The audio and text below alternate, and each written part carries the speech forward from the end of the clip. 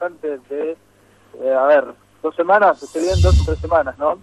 eh, tema que recorrió el país, inclusive el mundo. Hablamos de lo que sucedió en, la localidad de Candelaria, hablamos de lo que sucedió en el mismo Consejo Deliberante de esa localidad en donde el presidente Jorge Peña había golpeado a periodistas, a trabajadores de la prensa y obviamente después de esto eh, se desató eh, toda una cuestión, todo un debate que derivó en este pedido de institución.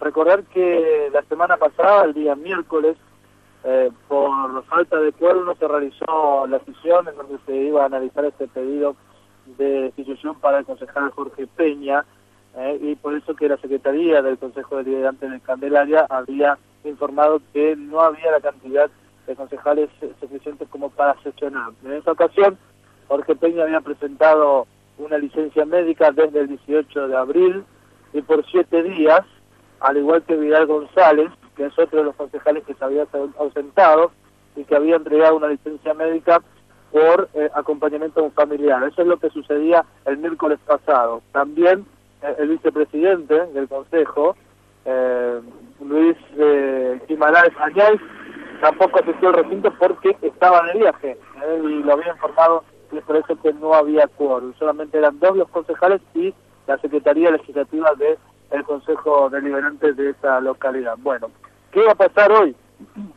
Nosotros estuvimos averiguando, estuvimos eh, obteniendo algunos datos, algunas informaciones para eh, tratar de anticipar lo que puede llegar a suceder hoy en este Consejo Deliberante que va a funcionar a partir de las 20 horas en Candelaria. Bueno, se terminó la licencia de Jorge Peña, el presidente del Consejo Deliberante, que estaría en la sesión.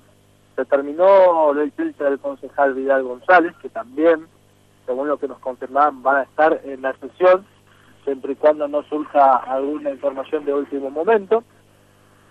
Y se va a analizar este pedido concreto que la semana pasada hacía el concejal Rodolfo Roetti, ¿eh? que se hizo presente en esa sesión, y solicitó la destitución del presidente Jorge Peña por las agresiones contra el periodista Daniel Luna. Decía eh, hace dos semanas. ¿eh? Además, había solicitado eh, una sesión extraordinaria para este miércoles 2, para hoy, pidiendo que el sublema ganador, digamos, el de sea presente para que se constituya, para tener quórum, sino que sean buscados por las fuerzas públicas, había dicho en su momento también el concejal Rodolfo Ruel. ¿no?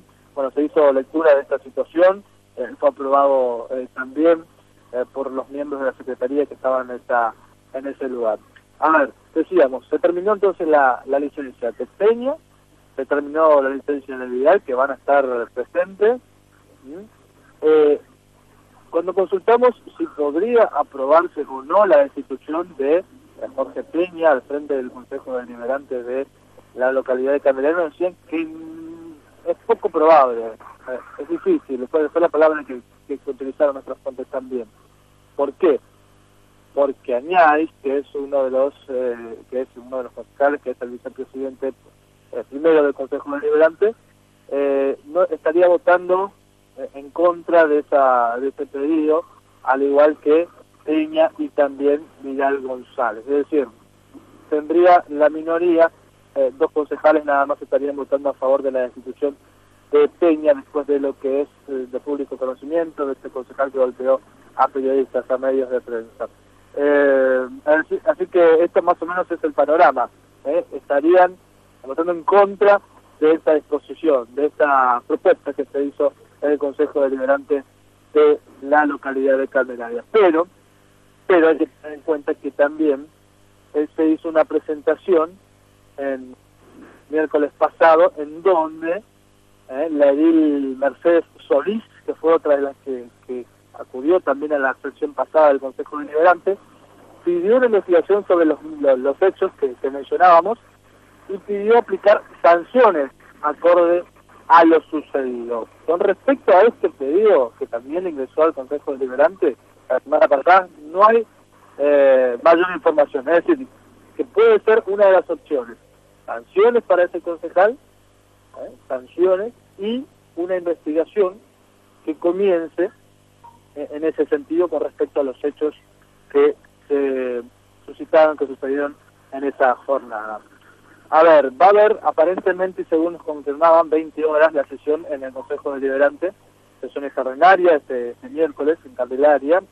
Eh, van a haber varios medios de comunicación, recordar que alrededor de una veintena de medios, inclusive nacionales, estuvieron la semana pasada en Candelaria, bueno, hoy, aparentemente algunos de la provincia, no sé si a nivel nacional, estarían presentes también en Candelaria. Pero la información es esta, ¿eh?